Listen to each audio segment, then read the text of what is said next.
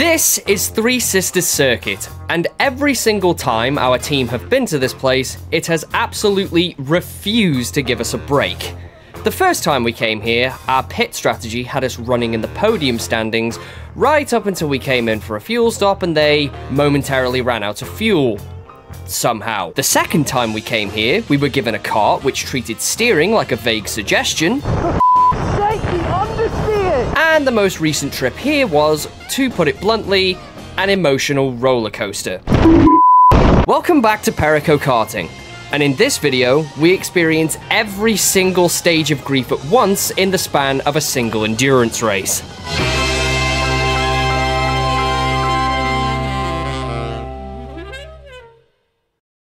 Now, if you've seen the last video, which you better have, the format for this event is a two hour long race, three mandatory stops, one fuel up, and all of the drivers on a team have to participate. Our team is composed of myself, John, and the sleep paralysis demon of Fastlane. The last time we came here, John started the race, and that seemed to work out well for us, but in the interest of trying to get me some decent footage, I volunteered to start the race this time. But first, we'd have to qualify, and this is where we were met with our first obstacle. This cart sucked. We were each about two and a half seconds off of our usual pace trying to drive this thing. It was slow on the Conrod straight, steering felt more like a side effect of turning the wheel rather than the intended outcome, and despite all of our best efforts combined, we would only qualify P17 out of 20, with a 52.7 set by Luke. I do not need to explain why this is not right. Alas, there's nothing more I can do at the moment than take my spot on the grid and hope that a good old fashioned grid start will do me any good. So, let's get this underway. And the light goes green, and let's go racing. Now, the guy in the white helmet apparently didn't get the memo, which means I immediately overtake him, jump him off the line, which means I'm now up to P16. What an illustrious position to find myself in. As the pack comes barreling around the first of the S's and onto the Rogerson Straight, it's now my responsibility to try and keep up with absolutely anyone in the hopes I can gain a slipstream coming down the Conrod Straight.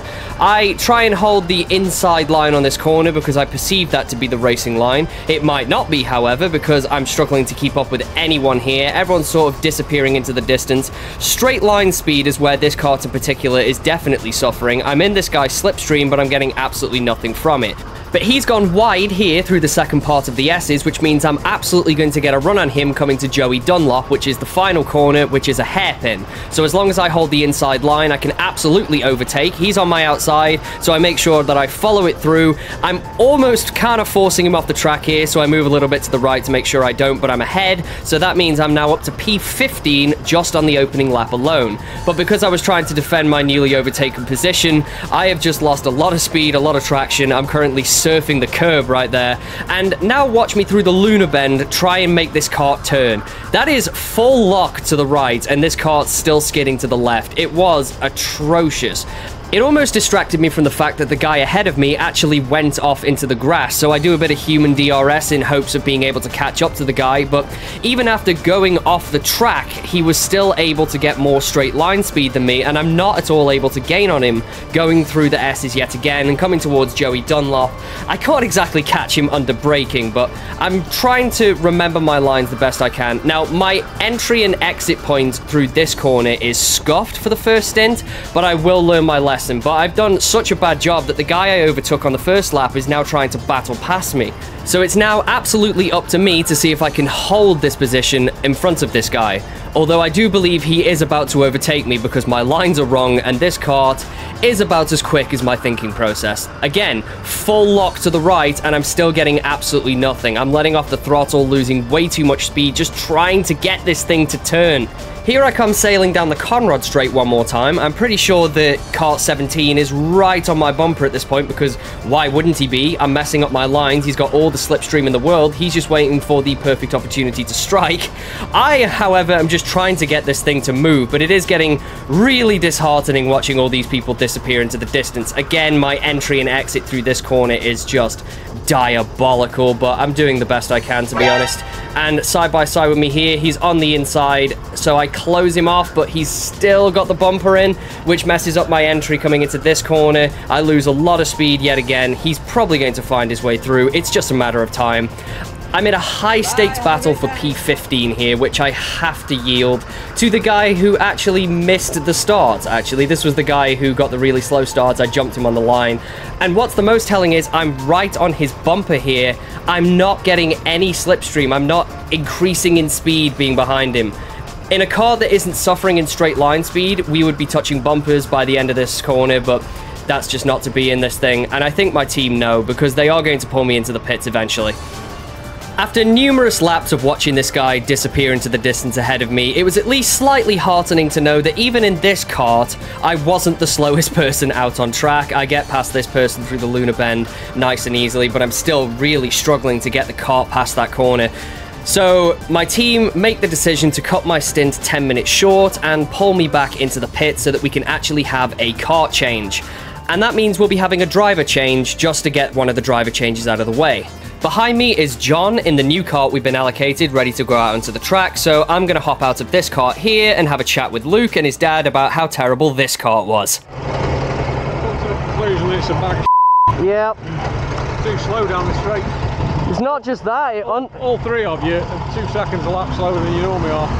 It understeers like a through there. Yeah, the start was good. I managed to gain like one position and then lost it again. Yeah. The cart's a bag of shit, mate. I, I did the best I could, but it, it doesn't like that last corner, I'll tell you that. So, it's been a whole 10 minutes, and the team has made the decision to basically Karen our way into getting a new cart, because this one apparently has the power of an electric toothbrush, which means my stint was cut short, and I'm now going to be racing the final half hour instead. You might notice that I didn't record any B-roll footage during this race, and that would be because I was too busy watching John and Luke absolutely bulldoze their way back through the field with this new cart, with Luke recovering all the way to third. Absolutely unreal. I was too busy chewing my fingernails to the knob in the pits, dreading my stint and the prospect of throwing away all their hard work. But I couldn't put this fate aside for long, and Luke's finally poured into the pits. So, it's my turn now.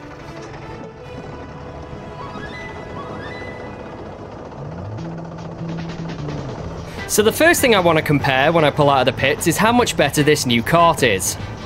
Oh, this one's much better to drive! Yes! Unfortunately, this new cart isn't stopping me from making dumb mistakes, like essentially power sliding through Joey Dunlop because I haven't got the braking point right, but I was so concerned about undoing Luke's hard work that I spent a good deal of time while I was still in the pits looking up hot laps, trying to get every single braking zone and every single racing line as correct as I could. And it really did pay off because my laps got cleaner and cleaner and cleaner as time went on, which really contributed to me holding onto the position as long as I possibly could. Curiously, a few laps into my stint, I get overtaken by this gentleman on the inside here in quite a cool looking race suit. He looks behind me and then gives me a signal to say, let's work together. I immediately get a draft, ignore what he was saying and go for the move, and I doubt he's happy about that one.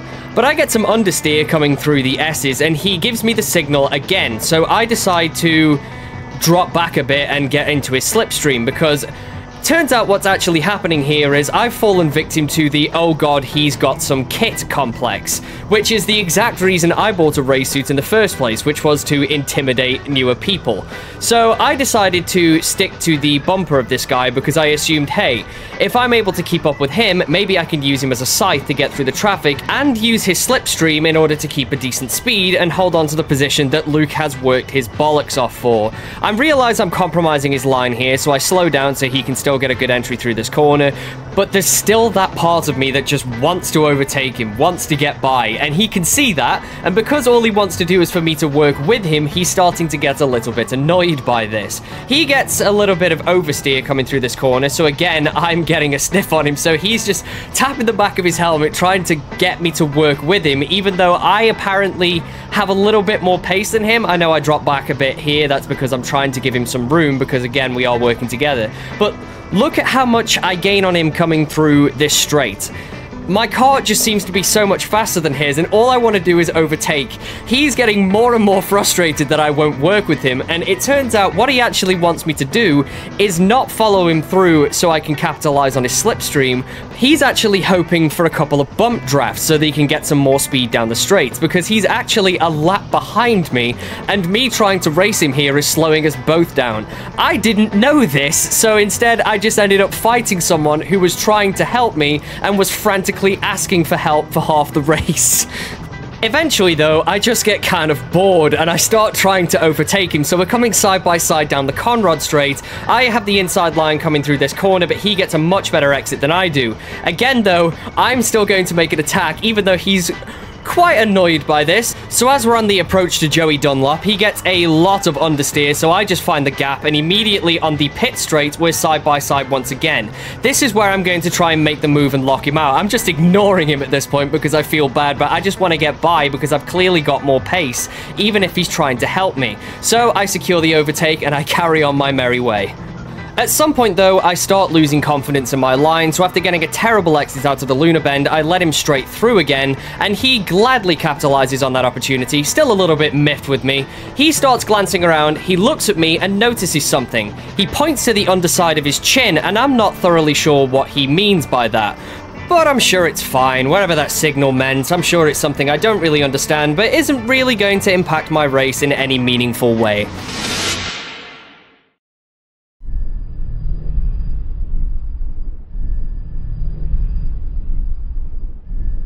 Words cannot describe how disappointed and irritated I am with myself, this helmet, everything, the universe. Currently sat in this cart watching all the hard work that Luke and John put in thrown away because of something as simple as my helmet strap coming undone.